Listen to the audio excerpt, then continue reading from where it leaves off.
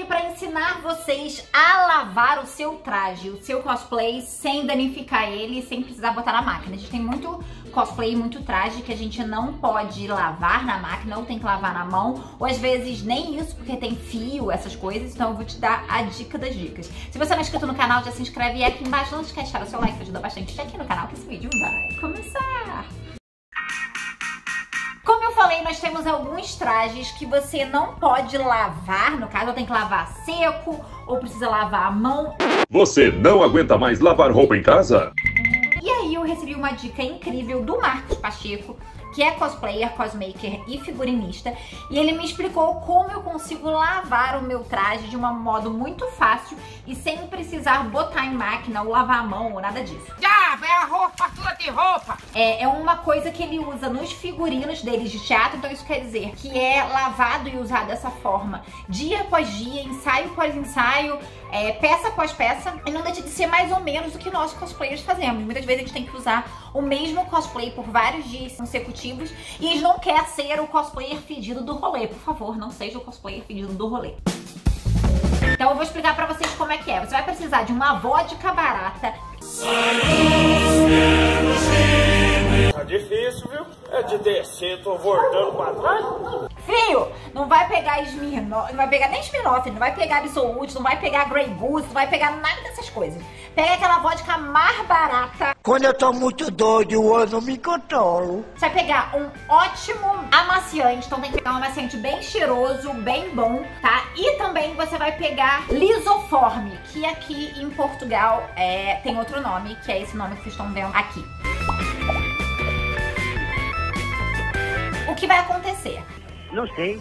A vodka, ela é basicamente de puro álcool destilado, então isso vai poder ajudar você a desinfectar a situação e a tirar o cheiro. O lisoforme, ele é antibactericida, então ele vai tirar todo as bactérias, aquele fedor, aquela catinha que fica entranhada. E o amaciante, ele vai dar cheiro. Nossa, você tá cheirosa? Então você vai pegar um copinho de amaciante, um copinho de lisoforme e vai encher aí o resto, dependendo da quantidade que você precisa, de vodka. Isso dentro desse recipiente para você espirrar. Dependendo do que você for fazer, você tem um recipiente menor, dependendo do que você for fazer, você tem um recipiente maior. Depois você faz essa misturinha, dá uma misturadinha assim, e aí você não chacoalha muito não, porque senão a amaciante vai ficar cheia de bolha.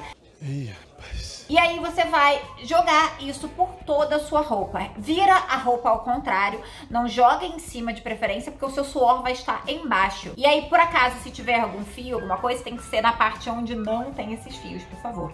E aí você vai espalhar isso por toda a sua roupa e deixar ali secar naturalmente. Como não é muita quantidade de líquido, isso vai secar rápido e você vai conseguir usar aí rapidamente. Quando eu tava em Belém e eu tinha vários trabalhos ao longo do dia, eu ia e voltava do apartamento onde eu tava para trabalhar. Então toda vez que eu voltava, Belém, muito úmido, traduzindo, suava muito. Eu ia lá e fazia essa limpeza, espirrava em toda a minha roupa de viúva negra, descansava, a gente tinha em torno de três horas aí de descanso até o próximo trabalho. Passava isso, descansava quando eu já chegava para próxima três horas, quando eu ia vestir a roupa já estava seca e ela estava cheirosa. E aí a gente conseguia ir pro próximo trabalho com a roupa limpa, cheirosa, sem catinga. Então essa minha super dica, espero que vocês tenham gostado. Foi o Marcos Pacheco que ensinou, ele também tem um vídeo parecido com esse lá no Instagram dele. Vocês podem sempre conferir, sempre que esquecerem. Se você curtiu, curte aqui embaixo, não se esquece de se inscrever aqui no canal. Eu também tô no Facebook, no Instagram e no TikTok com Bia Contursi e no Twitter com Bia Contursi. Beijo!